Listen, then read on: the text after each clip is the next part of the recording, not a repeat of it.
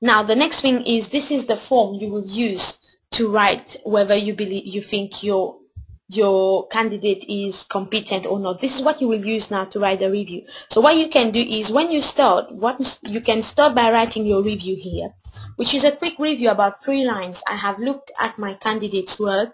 It covers these units. I believe it's good and I'm going to be cross-referencing it to make sure that my candidate is uh, competent. Now the next thing you will do is you have uh, below here so you will, after writing your review, the next thing you will do is you will write your feedback. And your feedback will be what I've mentioned during the lesson. So you will quickly write your feedback here to say that, so you're talking to your candidate. Whatever you're saying to them is what you will write here. I believe you've done a very good job. This is what you need to improve on.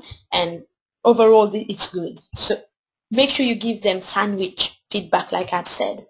An assessment decision is made at a later stage, which is towards the end when candidates are completing. And that's when you will tick at the top there whether the candidate is competent or further evidence required. And then here you can write, if you want, if it's at a later stage, you can write here candidate is competent, this unit has been